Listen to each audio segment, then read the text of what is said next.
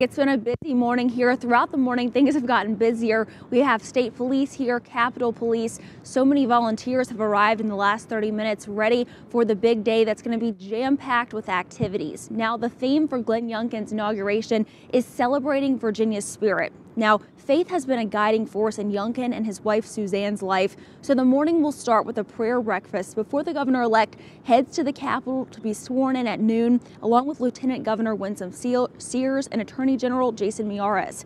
Then you can expect the inaugural parade, which will feature more than 200 National Guard members playing ceremonial music, providing a flyover, and acting as the color guard for the parade.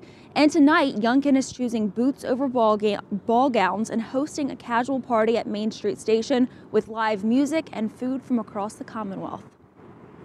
Service is important, and every individual in the Commonwealth can make a difference when, in fact, we jump together and work together in order to make a difference.